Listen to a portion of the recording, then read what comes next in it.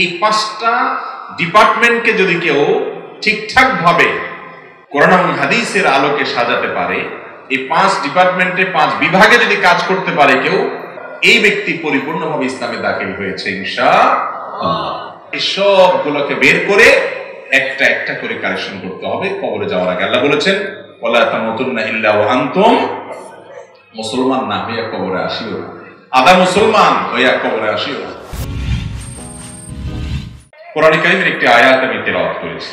আল্লাহ রাব্বুল আলামিন সেই আয়াতে বলেছেন, ইয়া আইয়ুহাল্লাযীনা আমানু হে ঈমানদাররা, যারা আল্লাহর কাছে নিজেকে সমর্পণ করেছ, আল্লাহ রাব্বুল আলামিনকে রব হিসাবে স্বীকৃতি দিয়েছ, উদখুলু ফিস সিলমি কাফা। তোমরা ইসলামে প্রবেশ করো, কত পার্সেন্ট? কতটুকু? পরিপূর্ণভাবে, শতভাগ ইসলামে দাখিল হয়ে যাও।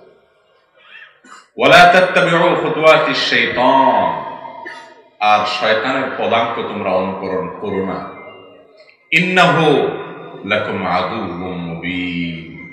কারণ শয়তান তোমাদের জন্য সুস্পষ্ট শত্রু গোটা কোরআন খুললে আপনি দেখবেন, বিভিন্ন জায়গায় আল্লাহ রাব্বুল আলামিন শয়তান যে মানবতার দুশ্মন, আদম সন্তানের দুশ্মন, সেটাকে আল্লাহ তালা জায়গায় জায়গায় বলেছেন। ব্যাখ্যা করে করে বলেছেন, কিন্তু আমাদের মধ্যে আজ শয়তান সম্পর্কে আলোচনা নাই। শয়তান নিয়ে একদিন ওয়াজ হওয়া দরকার শুধু। কারণ শত্রু সম্পর্কে যদি আপনি না জানেন, তাহলে শত্রুর শত্রুতা থেকে বাঁচবেন কীভাবে? এখন আমরা শয়তানকে চিনিও না, জানিও না কীভাবে সে শয়তানি করে। আমি নিজেই কীভাবে শয়তানের ক্রিয়ানক হয়ে যাই, এগুলো টের পাই না। এই জন্য ইবলিসের মতো আরও বড় বড় এরকম জগৎ বিখ্যাত কালজয়ী গ্রন্থ ইমামগণ লিখে গেছেন ইবলিসের ইবলিসি সম্পর্কে। সেটা নিয়ে আজকে আলোচনা করার সুযোগ নেই। আমরা একদিন পৃথকভাবে শুধু ইবলিস নিয়ে বিস্তারিত করেন্সের আলোকে কথা বলব। আজকে শুধু যে জায়গাটা আমি অ্যাড্রেস করতে চাচ্ছি, সেটা হলো সংক্ষেপে। এর বিস্তারিত ব্যাখ্যা অন্য কোনো মাহফিলে যেহেতু আজকে সময় নেই আল্লাহ রব্বুল আলম আমাদেরকে বলেছেন, তোমরা পরিপূর্ণভাবে ইসলামে দাখিল হও। আর আমরা যেন পরিপূর্ণভাবে দাখিল হতে না পারি, এই জন্য ইবলিস আমাদের জন্য শত্রু হিসাবে বাধা হয়ে থাকে। আল্লাহ বলেছেন, খবরদার, তার পিছে পিছে যাবা না, তার কথা শুনবা না। সে তোমাদের শত্রু। তোমরা পরিপূর্ণ ইসলামে দাখিল হলে তার মিশন ব্যর্থ হবে। সে তোমাদেরকে জাহান নামে নিতে পারবে না, যদি তোমরা পরিপূর্ণ ইসলামে দাখিল হও। এই জন্য সাবধান থাকবা শয়তানের ব্যাপারে, আর তোমরা পরিপূর্ণ ইসলামে দাখিল হও। এখন পরিপূর্ণ ইসলামে দাখিল হইতে হলে কি করতে হবে? পাঁচটা কাজ করতে হবে। কয়টা কাজ করতে হবে? এই পাঁচটা কাজকে ওলামা একরাম অনেক অনেক ভাবে বিভক্ত করেছেন। সেটাকে তিন কাজে করেছেন, চার কাজে করেছেন, জিনিস একই বিভিন্ন ভাবে বিভক্ত করেছেন। পাঁচ কাজে যে সমস্ত ওলামা একরাম বিভক্ত করেছেন, তার প্রথম কাজ হলো ইমান এবং আকিদাকে শুদ্ধ করা। বিশ্বাস এবং আকিদাকে, বিশ্বাসকে শির, কুফুর এবং নেফাক থেকে পবিত্র রেখে আমার বিশ্বাসটা সঠিক আছে কিনা? আমার বিলিফটা কি? আমার বিশ্বাসটা কি? এটা কনসেপ্টটা কোরআন হাদিসের সাথে মিলে কিনা? ঠিক কিনা? এই জিনিসটাকে ঠিক করা এক। দুই নম্বর হলো এবাদাত এবাদাত মানে আল্লাহ রব্বুল আলমিন যে সমস্ত কাজ করার নির্দেশ করেছেন এবাদত হিসাবে আমরা যেটাকে সরাসরি বা প্রত্যক্ষ এবাদত মনে করি, পাঁচ অক্ট সালাদ রমদানের সিয়াম, সম্পদের জাকাত হজ এবং মা বাবার আনুগত্য। যত প্রকার নির্দেশ আল্লাহ তালা করেছেন, সৎ কাজের আদেশ, অসৎ কাজের বাধা প্রদান, এসবগুলো এবাদাত ইবাদাত যদি কেউ ঠিক করে, আল্লাহর সমস্ত ইবাদাতগুলো যদি করে, করণীয় কাজ, বর্জনীয় কাজ, সবগুলোকে আল্লাহর নির্দেশনা অনুযায়ী যদি সে পালন করে চলে, তৃতীয় কাজ হলো মহামালাত। মহামালাত কি? মহামালাত হলো, মহামালাত বলতে এখানে উদ্দেশ্য হলো মহামালাত মালিয়া। অর্থাৎ আর্থিক যত লেনদেন আছে, কাজ কারবার আছে, সেটা যদি কেউ ঠিক করে, আর চার নম্বর হলো মহাসারা, মানুষের দৈনন্দিন জীবনে উঠা বসা, মানুষের সাথে যে সামাজিক আচার আচরণ, পারিবারিক আচার আচরণ, কাজ কারবার, এগুলোতে যদি কোরআন হাদিসের নির্দেশনাকে ফলো করে চলে, পাঁচ নম্বর এবং সর্বশেষ হলো আখলা আল্লাহর সমস্ত মানুষ তো বটেই, আল্লাহর সব সৃষ্টির সাথে উত্তম আচরণের পরাকাষ্ঠা যদি কেউ দেখায় এই পাঁচটা ডিপার্টমেন্টকে যদি কেউ ঠিকঠাক ভাবে কোরআন এবং হাদিসের আলোকে সাজাতে পারে, এই পাঁচ ডিপার্টমেন্টে পাঁচ বিভাগে যদি কাজ করতে পারে কেউ, ইমান আকিদা যদি তার শুদ্ধ থাকে ইবাদতগুলো যদি সে ঠিক ঠিক করে, লেনদেন কাজ কারবার যদি ঠিকঠাক মতো হয়, আচার আচরণ, সামাজিক, পারিবারিক, এগুলো যদি করোনারিস মতো হয় আখলাক এবং আচরণগত সৌন্দর্য ইসলাম যেভাবে চেয়েছে সেভাবে যদি হয় এই ব্যক্তি পরিপূর্ণভাবে ইসলামে দাখিল হয়েছে ইনশা আমাদের সমাজে কিছু লোক দেখবেন, ইবাদত বন্দিকে অনেক করে আকিদায় ত্রুটি আছে ইমানে ত্রুটি আছে, শিরপূর্ণ বিশ্বাস আছে ইমানে ভেজাল আছে। আবার অনেক লোক আছে ইমান আকিদা, মাশাআল্লাহ ঠিক আছে, মোটামুটি, কিন্তু ইবাদতে ত্রুটি আছে, নামাজে ঝামেলা আছে, রোজাতে ঝামেলা আছে জাকাতে ঝামেলা আছে, এক এক ইবাদতে বড় বড় ধরনের ঘাপলা আছে, ত্রুটি আছে। আবার অনেকে আছে, মাশাআল্লাহ ইমানও ঠিক আছে, ইবাদতও ঠিক আছে, তিন নম্বরটাতে স্লিপটা সবচেয়ে বেশি হয়। এই জায়গাটা খুব পিচ্ছিল জায়গা। সেটা কোনটা? আর্থিক লেনদেন। এই জায়গাতে এসে মানুষ কতটা ভালো মানুষ, সেটার পরখ পাওয়া যায়। আজ ইমান আকিদা বিশুদ্ধ এমন মুসলমান যা আছে এবাদত বন্দিগিতে যথেষ্ট সিরিয়াস ঠিকঠাক মতো করার চেষ্টা করে এমন মুসলমানও যা আছে, তার তুলনায় বহু বহু বহুগুণ কম ওই মুসলমান, যেই মুসলমানের আর্থিক যে বিষয় আসে, আছে সেগুলোকে কোরআন এবং হাদিসের আলোকে সে গড়ে তুলতে পেরেছে। যার্রা পরিমাণ, বিন্দু পরিমাণ জ্ঞাতসারে হারামের ধারে কাছে সে যায় না। এই মুসলমান আজ দুর্ভিক্ষের মতো এর অভাব চলছে।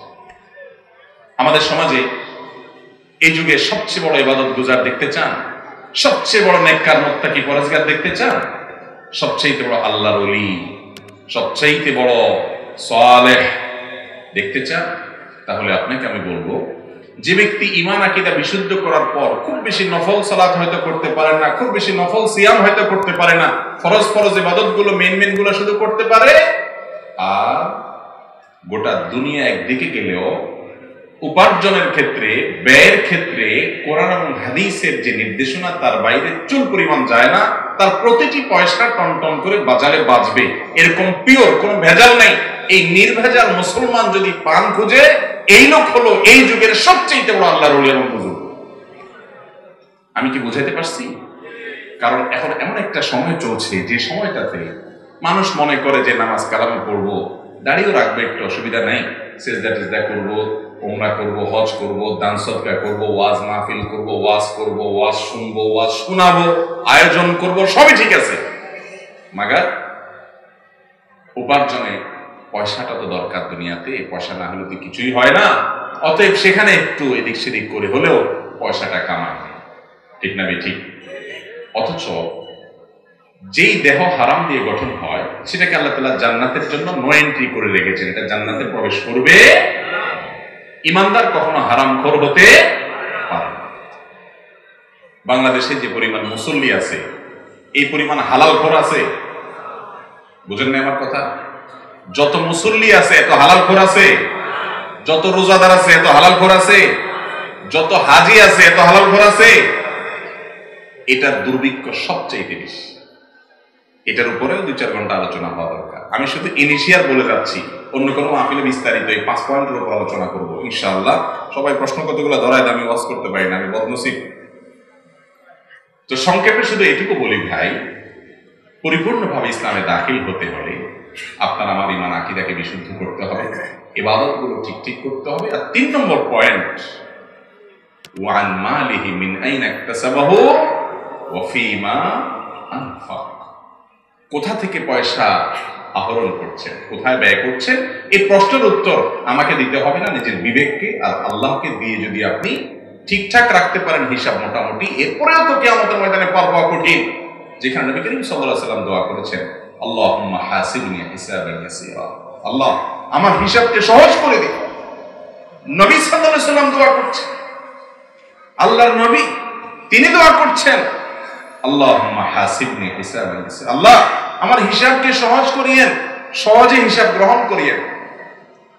সেখানে আমাদের কি অবস্থা হতে পারে? হিসাব গ্রহণ সহজ কীভাবে হবে? হিসাবে ইয়াসির কাকে হবে? এর ব্যাখ্যা একটা হাদিসে এসছে যে, আল্লাহ তালা কাউকে ডেকে কেমতের দিন বলবেন, বান্দা তোমার অমুক অমুক পাপ অপরাধ করেছিলা, মানুষ তোমাকে বিশাল বড় হুজুর, আলেম সাহেব বানাইছে। তুমি আসলে একটা টাকার মেশিন পয়সা ছাড়া কিচ্ছু বুঝো নাই। হালাল হারাম বাজ বিচার করো নাই। মানুষ তোমাকে হাজি সাহেব, গাজী সাহেব বলছে সভাপতি সাহেব সেক্রেটারি সাহেব বলছে, অনেক ভালো কিছু বলছে তোমার বাহ্যিক আমল দেখে। তুমি একটা আস্ত একটা হারামখোর। তোমার জীবনে বহু সম্পদ তুমি হারাম দিয়ে কামাই করছ।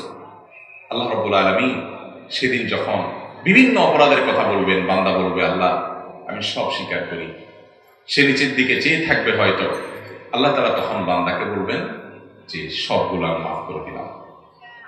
সে হলো সহজ হিসাবের ভাগিদার। আল্লাহ তালা আমাদের সবার হিসাব গ্রহণকে সহজ করে দিন। হিসাবে ইয়াসিরের তফিক আল্লাহ তালা আমাদের সবাইকে দান করে দিন। কিন্তু ভাইরা, হিসাব গ্রহণ যেন সহজ হয়, সেজন্যই তো দুনিয়াতে অন্তর প্রকম্পিত হয়ে আমি শতবার সাবধান থাকব। তারপরেও তো অনেক ভেজাল হয়তো বের হবে। মহামালাত লেনদেনটা ঠিক করতে হবে। বিশেষ করে আমাদের তরুণ ভাইদেরকে বলব, যুবক ভাইদেরকে বলব, ভাইরে, এই পৃথিবীতে কেউ কারোর আপন না। কেউ কারোর আপন না। আপনার সবচেয়ে বড় আপন হলো আপনার মালিক, সৃষ্টিকর্তা রব্বুল আলমী মা বাপ, তারা আপন ঠিক আছে, তারাও চায় বেশিরভাগ ক্ষেত্রে যে, বাবা, ঠিক আছে, তোমার কথা, নামাজ পড়ো, রোজা রাখো, সবই বুঝলাম, বাবা, কিন্তু দুনিয়াতে চলতে টাকা পয়সা লাগে, দান দক্ষিণাও তো করা লাগে। এই সমস্ত আগ্রুম বাগ্রুম কথা বলে আপনাকে ঘুরে ফিরে হারাম হালাল করার জন্য এক ধরনের সার্টিফিকেট বাপ মাও ইশারাই নিতে দিবে। ঠিক না ঠিক ছেলে বলবে বলবে, আব্বু, আমাদের বন্ধু বান্ধবদের বাবারা দেখো, জন্মদিনে কত কিছু করে, কত কিছু, তুমি এটা হালাল না, ওইটা হারাম, এসব বলো বাবা। অসহায়ের মতো, তারাও আপনাকে খোঁচাবে, উস্কাবে যেন আপনি হারামের দিকে যান।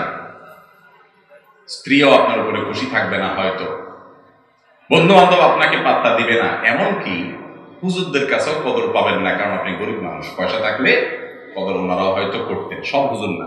আল্লাহ নেককার, আল্লাহর খাস বান্দা যারা, তাদের কথা নেই? এরকম একটা সময়ে সৎ থাকাটা খুব কঠিন। কিন্তু যে ব্যক্তি সমাজে কারোর কাছে তার কোনো গুরুত্ব নাই, কেউ কেয়ার করে না, কিন্তু সে উপার্জনটাকে সৎ রাখার চেষ্টাটা করে, ভাই, আমরা সবাই ফেরেস্তা হয়ে যেতে পারব না, চেষ্টাটা থাকতে হবে। আপনি, আমি, আমরা কেউই শতভাগ ফেরেস্তা হয়ে যেতে পারব না। কিন্তু সাধ্য থাকতে হবে, চেষ্টা থাকতে হবে, সাধনা থাকতে হবে যে আমার জীবন যাবে আমি হারাম উপার্জন করব। আমাদের তরুণরা যদি শপথ করেন যে আমার জীবন আমি অবৈধ উপার্জন করব না, অল্প হালাল উপার্জনে তুষ্ট থাকব, গোটা সমাজ একদিকে যাক, সবার এসপেক্ট এবং চাহিদাকে ডিনাই করে আমি আমার রবের নির্দেশকে মাথার উপর রাখব, এই দেশ দুর্নীতিমুক্ত হবে কি হবে না ইনশাআল্লাহ? এই দেশ সোনার দেশ হবে কিনা ইনশাআল্লাহ? আমাদেরকেই করতে হবে আমাদেরকেই করতে হবে, অতএব আমাদেরকে সংকল্প করতে হবে। দেশ গড়ার প্রয়োজন যেমন আছে, তার চেয়ে বড় প্রয়োজন আছে আমার আখেরাত গড়ার, আমার জান্নাত গড়ার। সে উদ্দেশ্যে অন্তত হালাল উপার্জন করব তো ইনশাআল্লাহ। যারা এখনও কর্মজীবনে প্রবেশ করেন নাই অথবা করেছেন, সামনে আরও আপনার সিরিয়াস কর্মজীবন রয়েছে, তারা আজকের মাহফিল থেকে সংকল্প করেন, আমি জীবনে কোনো হারাম খাব না, হারামের পথে পা বাড়াবো না। এতে যদি আমার গোটা সমাজের মানুষের কাছে কোনো মূল্য না থাকে, না থাকো জীবন খুবই সীমিত। চোখ বন্ধ হওয়ার সঙ্গে সঙ্গে জান্নাতের সুসংবাদ পাওয়া যাবে, ইনশা চলবো তো ইনশাআল্লাহ আমরা সবাই মনে করি, টাকা হইলে বাঘের কল্লাও পাওয়া যায়, আল্লাহরও পাওয়া যাবে। এই জন্য মানুষ দেখবেন, জোয়ান বয়সে অপকর্ম করে, হারাম কামাই করে, দুই নম্বর কামাই করে, টাকার পাহাড় করে শেষ বয়সে এসে মসজিদে কিছু মাদ্রাসা কিছু, মাহফিলে কিছু, হুজুরে কিছু, হাদিয়া, টোপা, দিয়া টিয়া, উনি মনে করে যে কালো টাকা সব সাদা হয়ে গেছে। ঠিক না বেঠিক দুনিয়ার মানুষের চোখ দুলি দেওয়া যাবে। আল্লাহ রব্বুল আলমিনকে ধুলি দেওয়া যাবে? আল্লাহ কাছে সবকিছু পরিষ্কার। এই জন্য সংকল্প করতে হবে মা বাপ কেন গোটা পৃথিবী যদি এক হয়ে যায়, আমি হারামে পা বাড়াবো না ইনশা আল্লাহ আল্লাহ আমাদেরকে তফিক দান করুন। চার নম্বর পয়েন্টটা ছিল হলো, সামাজিক যে আচার, আচরণ, মহাসারাত কাজ কারবার আপনার বন্ধু বান্ধবের সাথে কেমন আচরণ হবে, প্রতিবেশীর প্রতি কেমন আচরণ হবে, আপনার শত্রুর সাথে শত্রুতা করতে গিয়ে পর্যন্ত কেমন আপনার ম্যানার্স হবে শিষ্টাচার হবে, আদব হবে, আচরণ হবে, এর সব কিছু শিক্ষা ইসলাম দিয়েছে। সেগুলোকে অ্যাপ্লাই করতে হবে। অনেক মানুষ আছে, দেখবেন, নামাজ কালাম পড়ে হকালালিও চলে। ইমানও ঠিক আছে মাসাল্লাহ প্রথম তিনটাই ঠিক আছে। কিন্তু মানুষের হক আদায় করার ব্যাপারে আচার আচরণ, মানুষের সাথে যেগুলো, বিশেষ করে সামাজিক যে কাজ কারবার সেগুলোর ব্যাপারে উনি একেবারেই দুর্বল। সে ব্যাপারে ওনার কোনো দায়িত্বশীলতা নাই। ভাইয়ের হক আদায় করে না, বোনের হক আদায় করে না, প্রতিবেশীর হক আদায় করে না, স্ত্রীর হক আদায় করে না, সন্তানের হক আদায় করে না, অনেক মানুষের হক সে নষ্ট করে। মোয়াশারাতে তার ভেজাল আছে। এই লোক কখনো পরিপূর্ণ ইসলামে দাখিল হলো না। যে এটাকেও ঠিক করতে পারছে, পাশাপাশি আখলাকটা এর মধ্যে চলে আসে, তারপরও আখলাককে আলাদা করে লমাইকরাম বলেছেন গুরুত্ব বোঝানোর জন্য। আখলাকটা যে ঠিক করে, তার আখলাকটা হয় কোরআন হাদিস যে আখলাক চেয়েছে সেটা। পশু জবে করবা, তখনও পশুর যাতে অহেতুক কষ্ট না হয়, ছুরি ভালো করে ধার দিয়ে নাও, অহেতুক কোচাপুচি করবা না, শত্রুর সাথে শত্রুতা করবা লিমিটেশন রেখে করবা, একবারে মাজা গামছা বেঁধে লেগে যাবা না। হাবিব হাবি কাহাও নাম্মা আসা এরকম আখলাকের প্রতিটি লাইনে লাইনে পদক্ষেপ আখলাক বিশেষ করে তিন নম্বরটা আর পাঁচ নম্বরটা, এই দুইটা দুর্ভিক্ষটা বেশি চলতেছে। আমাদের মধ্যে দেখবেন যে ইমান আমল, হক চলারও কিছু মানুষ হয়তো পাবেন। আখলাকটা ঠিক কোরআন হাদিস যেরকম বলেছে, সেরকম আখলাকওয়ালা মানুষ আর সমাজে সোনার হরিণ আল্লাহ তালা আমাদেরকে পরিপূর্ণ ইসলামে দাখিলকারী মুসলমান হওয়ার তৌফিক দান করুন। কয়টা গুণ লাগবে ভাই? পাঁচ। ইমান আকিদা ঠিক করতে হবে, ইবাদত বন্দিগি, এটাকে কোরআন হাদিস অনুযায়ী ঠিকঠাক মতো করতে হবে। লেনদেনটা হইতে হবে সঠিক, যথাযথ। নামাজে কালামে মুসলমান উপার্জনে দুই নম্বর, এটা হলে চলবে। চার নম্বর, কায় কারবার, উঠা বসা মানুষের হক এগুলোর ব্যাপারে সচেতন থাকতে হবে। পাঁচ নম্বর আখলাক এবং আচরণ সুন্দর হতে হবে। কোরআনের, হাদিসের যে আখলাকের নমুনা বলা হয়েছে, তার আদর্শ হতে হবে নিজে। এই পাঁচটা ডিপার্টমেন্টকে যদি আমরা ঠিক করতে পারি, তাহলে আমরা পরিপূর্ণ ইসলামে দাখিল হলাম। আর না হলে কেউ আদা কেউ তিন ভাগের এক ভাগ, কেউ পাঁচ ভাগের দুই ভাগ এক একজন এক এক পার্সেন্টেজ ইসলামে দাখিল হব। আর এরকম আদা ইসলামে দাখিল আল্লাহর কাছে গ্রহণযোগ্য হবে। আল্লাহ তাআলা আমাদের সবাইকে পরিপূর্ণভাবে ইসলামে দাখিল হওয়ার তৌফিক দান করুন। ইসলামের যতগুলো গুরুত্বপূর্ণ দিক আছে, সব ডিপার্টমেন্টে উন্নতি করতে হবে। আমাকে এখন থেকে অ্যানালাইসিস করতে হবে, আমার সমস্যাটা কোন কোন জায়গায় আছে ইমানে কি ঝামেলা আছে, এবাদতে কি আছে, লেনদেনে কি আছে, আমার কায় কারবারে কি আছে, আচার আচরণে কি আছে, এই সবগুলোকে বের করে একটা একটা করে কারেকশন করতে হবে, কবরে যাওয়ার আগে। আল্লাহ বলেছেন, ওয়ালা তামুতুন্না ইল্লা ওয়া আনতুম মুসলমান না হইয়া কবরে আসিও না। আদা মুসলমান হইয়া কবরে আসিও না। আল্লাহ তাআলা আমাকে আপনাকে আমাদের সবাইকে খাঁটি মুসলমান হয়ে কবরে যাওয়ার তৌফিক দান করুন। আদা ওসলি ওসলি আলা নবিয়িনা মুহাম্মদ ওয়া জাযাকুমুল্লাহু